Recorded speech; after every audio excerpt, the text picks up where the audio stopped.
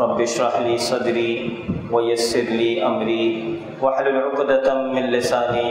क़ौली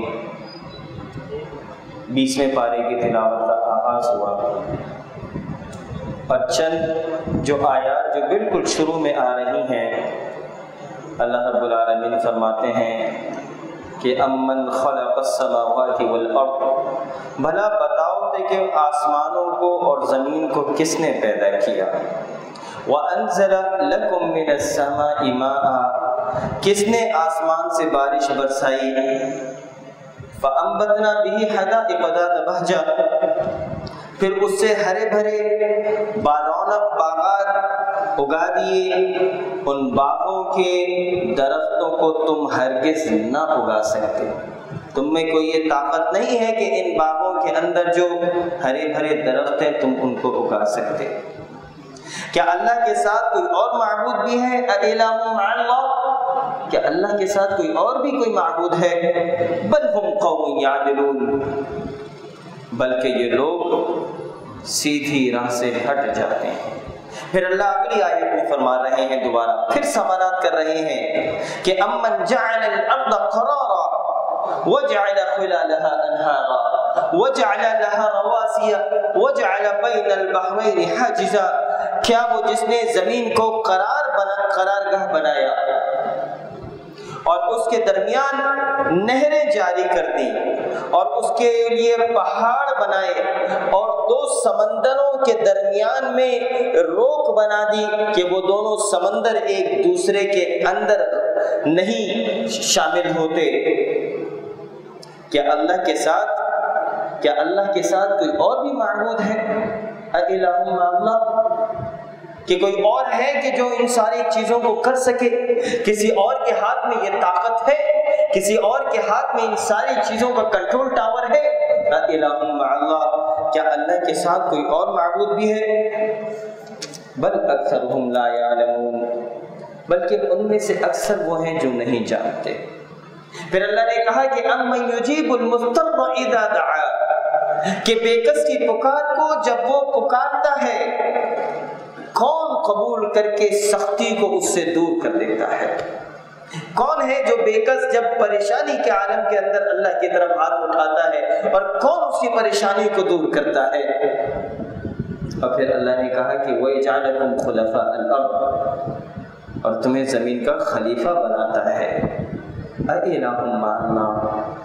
क्या अल्लाह के अलावा भी कोई और मबूद है? क्या अल्लाह के साथ भी कोई और मबूद है? कली लम्मा तदक्करून तुम्हें बहुत कम ऐसे हैं जो अल्लाह का ज़िक्र करते हैं। फिर अल्लाह ने कहा क्या वो जो तुम्हें खुशकी और तरी की तारीकियों में राह दिखाता है?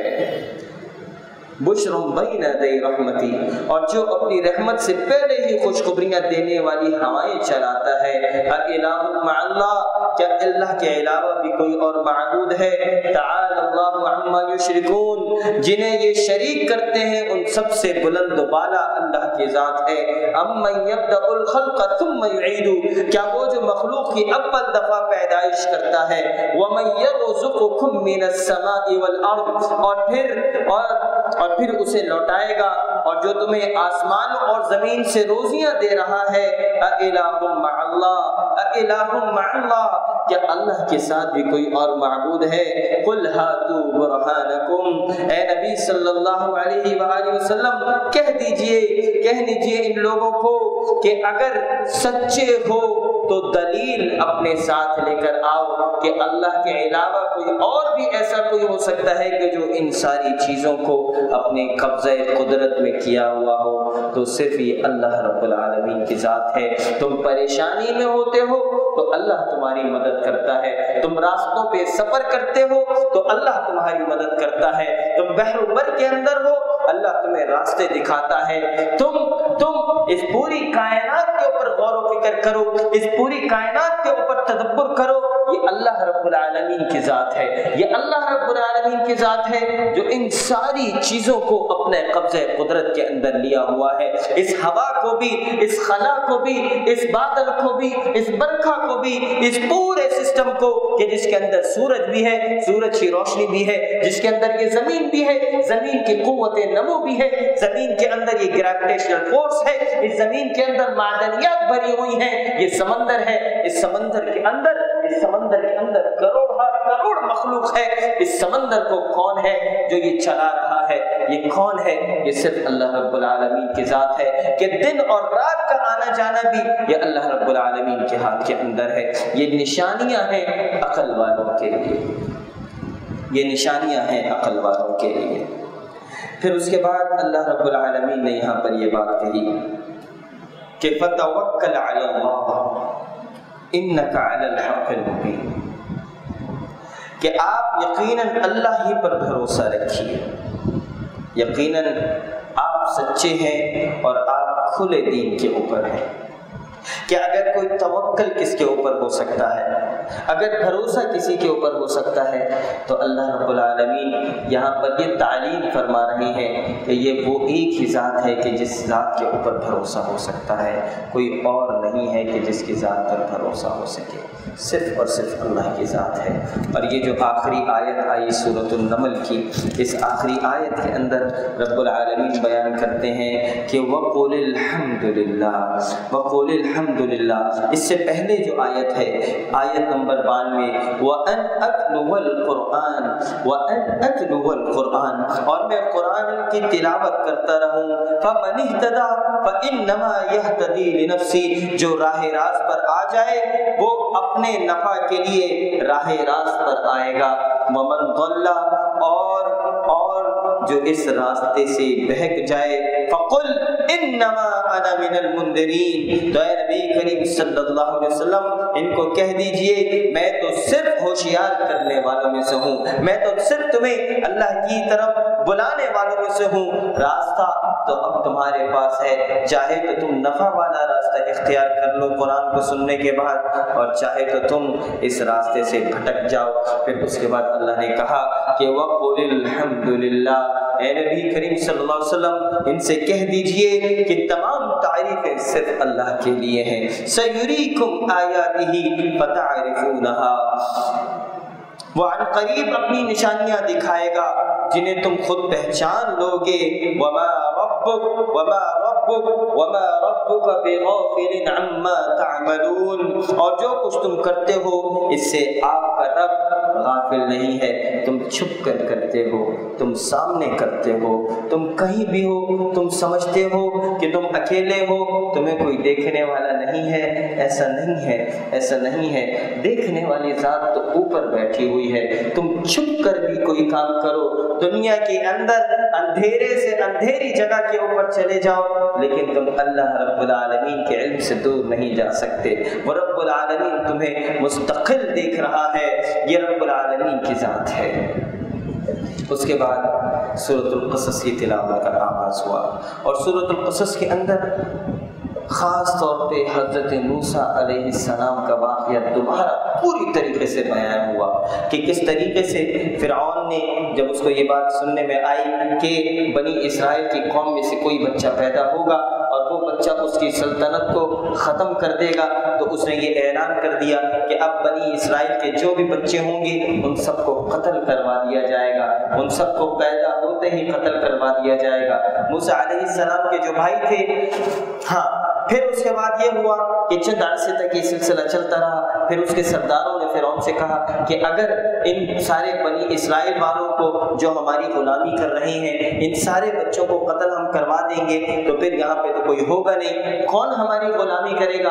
तो अब यूँ करना चाहिए कि एक साल जब बच्चे पैदा होंगे तो उनको कत्ल कर दो, और एक साल जब बच्चे पैदा होंगे, उनको कत्ल ना करो। तो हज़रत मूसा सलाम के जो भाई हज़रत हारून थे, वो उस साल पैदा हुए कि जो कत्ल ना होने वाला साल था। और मूसा सलाम उस साल पैदा हुए, जिस साल में लोगों को, बच्चों को कत्ल करना था, लेकिन अल्लाह रब्बुल आलमीन की शान देखिए। वो रब्बुल आलमीन किसी चीज़ का मोहताज नहीं है। हज़रत मूसा सलाम की जो वालदा थी, जो उनका हमल था, वो किसी को पता ही नहीं चलता था कि वो हमल के अंदर है। वो बिल्कुल एक आम सी औरत की तरह की थी, लेकिन उनके पेट में हमल था।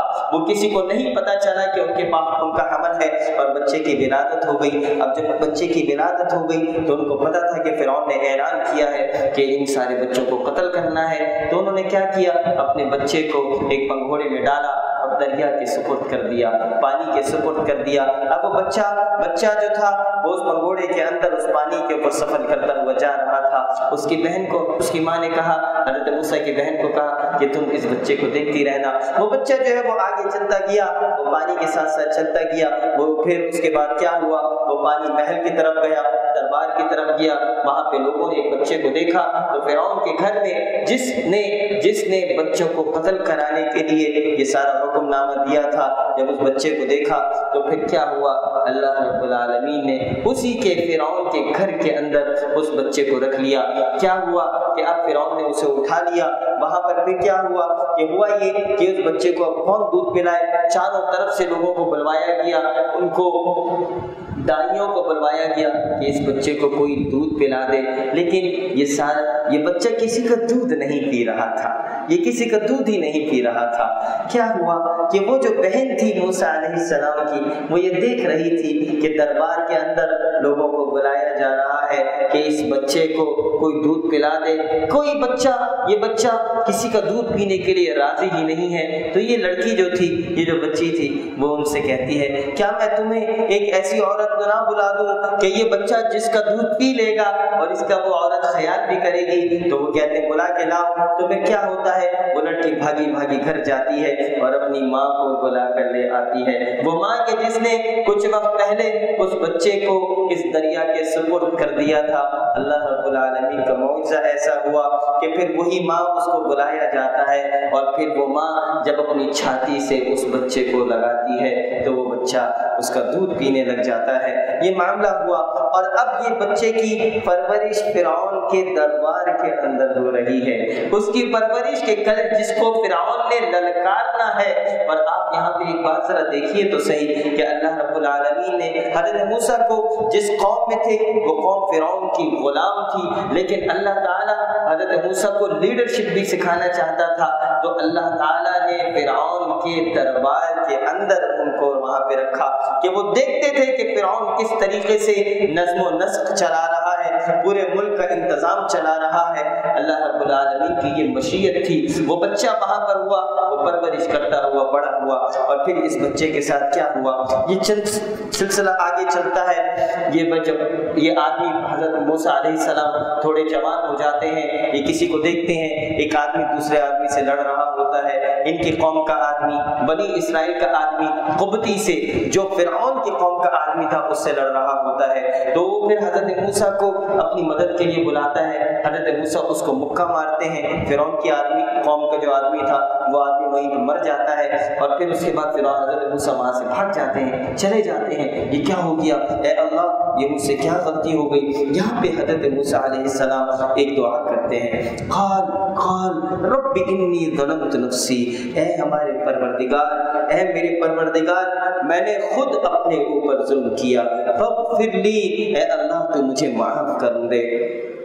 फ़िरली फ़िरला ए अल्लाह तो मुझे माफ़ फरमा दे। अल्लाह ताला ने उसे बख्श दिया। बहुल गफूर रहीम, वो बख्शिश और बहुत मेहरबानी करने वाला है। उसके बाद हज़रत मूसा जब दूसरे दिन आए तो वो आदमी दोबारा किसी से लड़ रहा था। हज़रत मूसा सलाम ने उससे कहा कि, भाई, तू तो बड़ा झगड़ालू आदमी है। उस आदमी, कल भी तुम लड़ रहे थे, तुम आज भी लड़ रहे हो। अभी हज़रत मूसा उसकी मदद के लिए जाने लगे तो वो आदमी समझा कि हज़रत मूसा मुझे ही मारने के लिए आ रहे हैं। कल इसने किसी और को मुक्का मारा था तो वो मर गया था।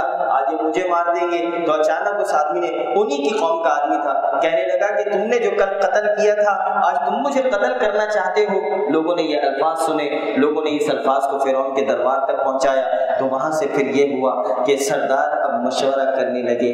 कि चूँकि मूसा सलाम ने बनी इसराइल की कौम के आदमी ने, गुलाम ने गुलाम ने एक कुबती को मारा है। लोग मशवरा करने लगे कि मूसा सलाम को इस मूसा को, इस मूसा को कत्ल कर दिया जाए। कोई हज़रत मूसा सलाम से मोहब्बत करने वाला भागता हुआ आया और कहने लगा, मूसा सलाम से कि आप यहाँ से फौरी तौर पर फरार हो जाएँ? इससे पहले कि ये लोग आपको, ये सरदारान ये सरदारान फ़िरौन जो है, ये दरबार फ़िरौन ये मशवरा कर रहे हैं आपके कत्ल का। हज़रत मूसा सलाम वहाँ से चले जाते हैं। जब रास्ते में कहीं होते हैं मदियन एक जगह थी, वहाँ से गुजर रहे होते हैं तो वहाँ पे क्या होता है? वहाँ देखते हैं कि लोग एक कुएँ से पानी निकाल रहे हैं। कुएँ से पानी निकाल रहे हैं, वहाँ दो औरतें खड़ी हुई थी। वो जो दो औरतें थी, हज़रत मूसा सलाम ने उनसे पूछा कि, भाई क्या मसला है? तुम क्यों नहीं निकाल नहीं पा रही तो उन्होंने कहा कि जब ये सब लोग मर्द निकाल लेंगे क्योंकि ये कुत वाले हैं, ये जब सब लोग निकाल लेंगे, जब इनकी बारी ख़त्म हो जाएगी तो फिर हमारी बारी आएगी। हज़रत मूसा सलाम ने उनको मदद दी और उनको वहाँ से पानी निकाल कर दिया। ये लड़कियाँ वापस अपने वालिद के पास गई और अपने वालिद के बारे में, अपने वालिद को इनके बारे में बताया। और फिर क्या हुआ कि एक लड़की शर्माती हुई, अल्फाज जो अदा हुए हैं, उसके अंदर ये है कि शर्माती हुई वो लड़की हज़रत मूसा सलाम के पास आई। उसने क्या कहा?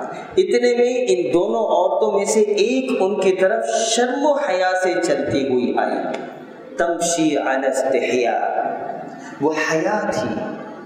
वो शर्म हया से वो औरत चलती हुई आई। और उससे कहा हज़रत मूसा से कि आप हमारे अब्बा के पास चलें। हमारे अब्बा आपको इसकी उजरत देना चाहते हैं, जो काम आपने किया है। हज़रत मूसा सलाम जब उनके साथ चलते हैं, यहाँ पर एक चीज़ समझने की है कि जब उनके पीछे पीछे चलना शुरू हुए, वो औरतें आगे थी तो हवा की वजह से उन औरतों के कपड़े आगे पीछे उड़ने लगे, उनकी पिंडलियाँ, उनके जिसम का हिस्सा जब हज़रत मूसा को दिखने लगा तो हज़रत मूसा सलाम ने उनसे कहा कि आप लोग मुझे अपने घर का रास्ता बताएँ लेकिन आप लोग मेरे पीछे चले, मैं आपके आगे चलूँगा ताकि मैं आपके बदन को ना देख सकूँ। ये हया है ये हया है। ये हया दिल के अंदर होती है। इसका ताल्लुक इसका ताल्लुक इस दिल से है। और जब हज़रत मूसा जब वहाँ पहुँचते हैं तो ये लड़कियाँ अपने अब्बा से कहते हैं कि, या अबतिस्ताजर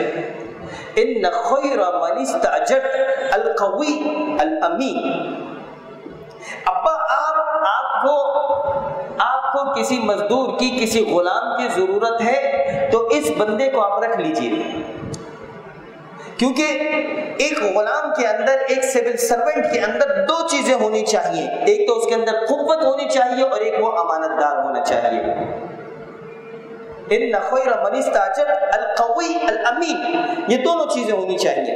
इन दोनों में से एक ने कहा कि, अब्बा जी, आप उन्हें मजदूरी पे रख लीजिए, क्योंकि जिन्हें आप उजरत पर रखें, उनमें सबसे बेहतर वो है जो मज़बूत हो कुत वाला हो और अमानतदार हो। ये दोनों चीज़ें अपनी बेटियों ने बाप से कही। ये कुत वाले इसलिए थे कि जब वहाँ पर पत्थर उठाने की ज़रूरत थी तो जो पत्थर नहीं लोगों से उठ रहा था, हज़रत मूसा सलाम ने उस पत्थर को उठाया। तो इन लोगों ने देखा कि ये कुत वाले हैं। और अमानतदार कैसे हैं? अमानतदार इसलिए है कि जब वो रास्ते में आ रही थी तो उन्होंने कहा कि आप मेरे पीछे चले, कि कहीं मेरी आँखों की भी खयानत ना हो जाए। तो इन दोनों चीज़ों को जब उन लड़कियों ने देखा तो अपने बाप से कहा, अब यहाँ पर बात ये समझने की है। आप तमाम अहबाब कि देखिए ये दो चीज़ें हैं कि जो एक आदमी के जो कहीं भी काम करता है, जो सिविल सर्वेंट है, जो मुलाजिम है, उसमें ये दो चीज़ें होनी चाहिए। कि वो कुत वाला हो, मज़बूत हो, वो ऑनेस्ट हो और वो एफिशिएंट हो। अमीन ऑनेस्ट और कवि कुत वाला हो एफिशिएंट हो। ये दो चीज़ें।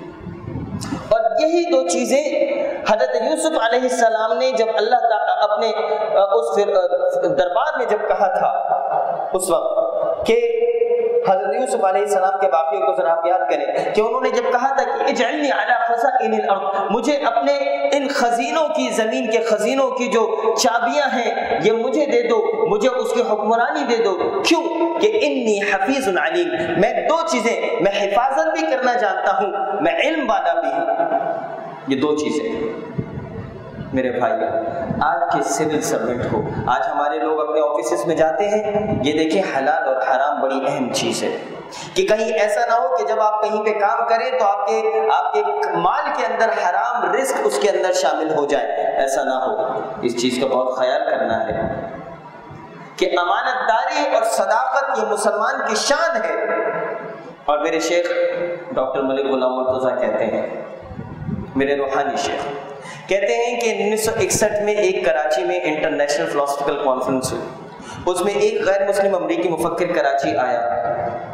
और उसको रात को दूध पीने की आदत थी, डॉक्टर मलिक गुलाम मुर्तज़ा उसके एसोसिएटेड इसको एसोसिएट कर रहे थे। हज़रत डॉक्टर मलिक गुलाम मुर्तज़ा ने उनको रात को दूध दिया। वो जो ना खालिश दूध, जो उस ज़माने में भी ना खालिश दूध मिलता था, उन्होंने उसको दूध दिया। उस दूध पीने से उसकी तबीयत खराब हुई तो उसने डॉक्टर मलिक गुलाम मुर्तज़ा से कहा क्यों Murtaza? If I would be living here in your country, I would have become a millionaire within very short period of time. अगर मैं तुम्हारे मुल्क में रह रहा होता तो चंद ही अरसे में मैं मिलेनियर बन जाता. तो डॉक्टर साहब ने पूछा कि हाउ? उसने कहा कि just by selling pure milk मैं तुम्हारे मुल्क में रह रहा होता तो चंद ही अरसे के अंदर मैं मिलीनियर बन जाता। उन्होंने पूछा, कैसे?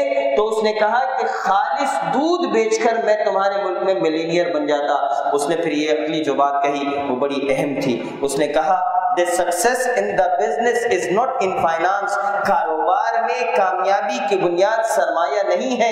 The success in the business is in credibility कारोबार में कामयाबी की बुनियाद एतमाद के ऊपर है और एतमाद दो चीज़ों का नाम है.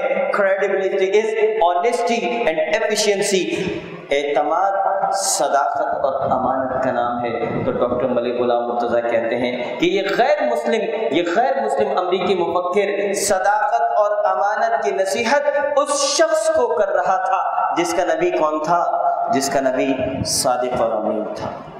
सदाकत और अमानत की नसीहत उस शख्स को कर रहा था, जिसका नबी सादिक और अमीन था। मेरे भाई, आज खुदा न खास्ता हमारे घर में किसी को कोई बीमार होता है और हमें लाइफ सेविंग ड्रग्स अगर लेनी हो, और अगर हम किसी फार्मेसी पर जाएँ, किसी मेडिकल स्टोर पर जाएँ, और मेडिकल स्टोर वाले कहें कि भाई, ये वाली जो दवाई है, ये पाकिस्तान से बाहर की है, ये अमेरिका की है, या ये यूरोप की है, और ये वाली दवाई ये पाकिस्तानी कंपनी की है।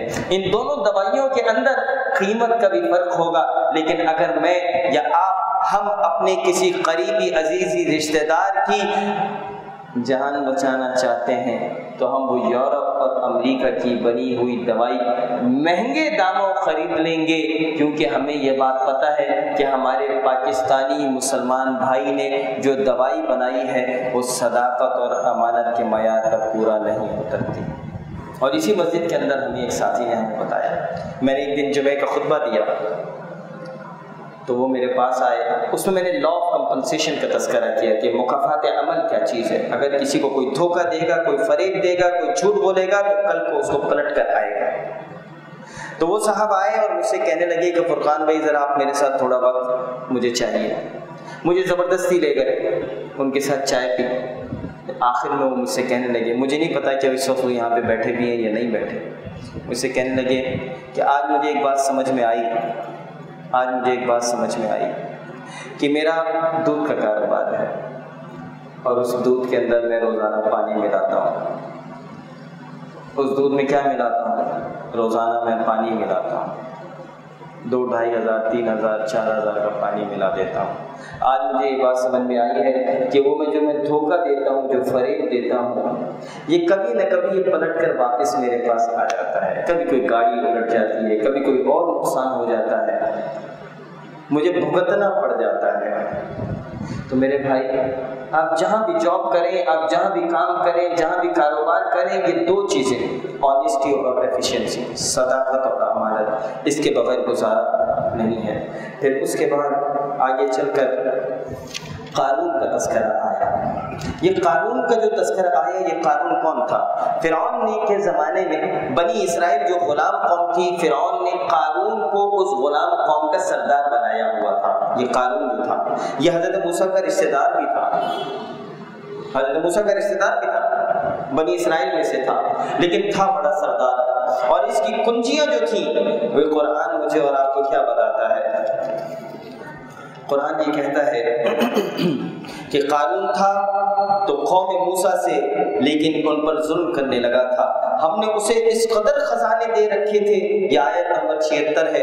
हमने उसे इस कदर खजाने दे रखे थे कि कई कई कई कई ताकतवर लोग बमुश्किल उसकी कुंजियाँ उठा सकते थे। एक बार उसी कौम ने उसे कहा कि इतरा मत अल्लाह ताला इतराने वालों से मोहब्बत नहीं रखता और जो कुछ अल्लाह ताला ने तुझे दे रखा है, उसमें से आखिरत के लिए भी घर की तलाश भी रख और अपने दिनवी हिस्से को भी ना भूल। और जैसे कि अल्लाह ने तेरे साथ एहसान किया है, तू भी अच्छा सलूक कर और मुल्क में फसाद का खाहा ना हो। यकीन मान कि अल्लाह मुफसिदों को नापसंद करता है। अब ये कानून क्या कहने लगा? कानून ने कहा, ये सब कुछ मेरी अपनी समझ की बिना पर है दिया गया है। खाल ये मेरा अपना इल्म है, ये मेरा अपना काम है, ये मेरे अपने जोरे ताकत से, जोरे बाजू से, ये मैंने सारा माल कमाया है, ये कारोबार मेरा है, ये कारोबार मेरा है, ये सारा बैंक बैलेंस मेरा है, ये सारी कोठियाँ, ये सब कुछ मैंने अपने इल्म की बदौलत ये हासिल किया है। आप जरा सोचिए तो सही कि कल हमने हज़रत सुलेमान सलाम का तस्करा पढ़ा कि हज़रत सुलेमान को अल्लाह ताला ने हवाओं के ऊपर, जिन्नो इंस के ऊपर अल्लाह ने हुक्मरानी दी, इन सारी चीज़ों के बाद भी हज़रत सुलेमान के जो अल्फाज थे वो ये थे, हादा मिन फजल रब्बी ये मेरे रब का फजल है। और ये कानून के जिसको अल्लाह ने सब कुछ दिया, ये कानून तकबर में और गुरूर के अंदर इतना आगे बढ़ गया। इसके जो अल्फाज से कहता था उती तुहु अला इल्मिन इंदी ये मैंने तो खुद अपने हाथों से कमाया है। ये मैंने खुद अपने हाथों से कमाया है। और फिर अल्लाह ताला ने उसे आज़ाब दिया। अब वो उस आज़ाब के अंदर, ज़मीन के अंदर धंस गया उसके बाद सूरतबूत की तिलावत का आगाज़ हुआ। जहाँ पर अल्लाह ताला फरमाते हैं कि क्या लोगों ने अहसिबन्नास के क्या लोगों ने ये गुमान कर रखा है कि उनके सिर्फ़ इस दावे पर कि हम ईमान लाए, आमन्ना आमन्ना, हम इना, ईमान लाए वहुम ला हम उनको आजमाइश नहीं करेंगे, हम उनको ऐसे छोड़ देंगे क्या लोगों ने ये समझ रखा है कि सिर्फ़ ये कह देने से कि हम ईमान लाए, हम उनको आजमाइश के अंदर और इम्तहान के अंदर मुबतला नहीं करेंगे। उनसे अगलों को भी हमने खूब जांचा। वलक़द फतन्नल लदीन मिन क़ब्लिहिम फला यअलमन्नल्लाहु लदीन सदकू वला यअलमन्नल काज़िबीन अल्लाह रब्बुल आलमीन कहता है कि हमने इनसे अगलों को भी खूब जांचा। यकीनन अल्लाह ताला इन्हें भी जान लेगा जो सच कहते हैं और उन्हें भी मालूम कर लेगा जो झूठे हैं। ये हक और बातिल को कि कौन हक के साथ है और कौन बातिल के साथ है। अल्लाह की जब आजमाइश आएगी तो पता चल जाएगा कि कौन हक के साथ है और कौन बातिल के साथ खड़ा हुआ है। तुम कहते हो कि ईमान लाने के बाद तुम्हें आजमाया नहीं जाएगा। एक दफ़ा अल्लाह के नबी वसल्लम हरम के साथ टेक लगा कर बैठे थे। कि सहाबा आए और कहने लगे कि, या रसूल अल्लाह की मदद कब आएगी? तो अल्लाह के नबी वसल्लम एकदम उठ कर बैठे और कहने लगे कि, तुमसे पहली उम्मतों को, उनको उनको आनों से चीरा जाता था। उनकी खालों को लोहे की कंघियों से, उनकी खालों को लोहे की कंघियों से उतार दिया जाता था। हमसे पहले लोगों के ऊपर तो बड़ी आजमाइशें आई लेकिन मेरे भाई, ये आजमाइशें आज फिर उम्मत मुस्लिमा के ऊपर आ रही हैं। कहाँ कहाँ किस किस जगह का नाम लिया जाए? बर्मा का नाम लिया जाए, फ़लस्तीन का नाम हो, कश्मीर का नाम हो किस किस जगह का नाम हो? लहू मुसलमानों का आज हर जगह बह रहा है। आज हर जगह बह रहा है। इसीलिए मेरे भाई, ये आजमाइश है। ये इम्तहान है अल्लाह रब्बुल आलमीन की तरफ़ से। और दूसरी चीज़ यहाँ पर ये भी है कि अल्लाह का अजाब भी है उम्मत मुस्लिमा के ऊपर कि आज उम्मत ने अल्लाह को, इस कुरान को, अल्लाह के नबी सल्लल्लाहु अलैहि वसल्लम की सुन्नत को, इस कुरान की दावत को, इस कुरान के इल्म को छोड़ दिया है पसे पुष्ट डाल दिया है। इसलिए यहाँ पे सूरतबूत में, जो यहाँ आखिर में ये अल्फाज अदा हुए कि कि अल्लाह रब्बुल ने कौम मदियन का तस्करा किया, कौम आद का तस्करा किया, कौम समूद का तस्करा किया, कौम लूत का तस्करा किया। मेरे भाइयों, अल्लाह ताला ने जो कौम आद थी, ये बड़े बड़े महल बनाते थे बड़े बड़े महल बनाते थे बड़े बड़े महल बनाते थे। समझते थे कि हमेशा यहाँ रहेंगे। अल्लाह ने सिर्फ़ हवा हवा आई और वो हवा ऐसी चली कि उनको उठा उठा के पटक पटक के ज़मीन के ऊपर मारा कि उनके दिल, उनके सर, उनके जिस्मों से अलग हो गए। कौम समूह को अल्लाह ताला ने चिंगाड़ से, जलजले से, आवाज़ से और जलजले से अल्लाह ताला ने उनको ख़त्म कर दिया। कौम कौम लूत को अल्लाह रब्बुल आलमीन ने आसमान से पत्थरों की बारिश हुई और अल्लाह रब्बुल आलमीन ने उनको भी ख़त्म कर दिया। इसी तरह कौम मदियन को, कौम शुएब को भी अल्लाह रब्बुल आलमीन ने अजाब में मुब्तला किया। मेरे भाई, ज़रा सोचिए तो सही, ये कौम शुएब क्या करती? ये नाम तौर में कमी करती थी। ज़रा इन सारी चीज़ों को देखें कि जिन चीज़ों की वजह से पिछली कौमें पर अजाब नाजिल हुआ, वो सारी की सारी चीज़ें आज मुसलमान कौम के अंदर में मौजूद हैं। लेकिन अभी क्या हम समझते हैं? अल्लाह का पहले जो आजाब आता था, उस तरीके से तो आजाब नहीं आएगा, लेकिन उस अजाब की मुख्तलिफ़ सूरतें आज मौजूद हैं।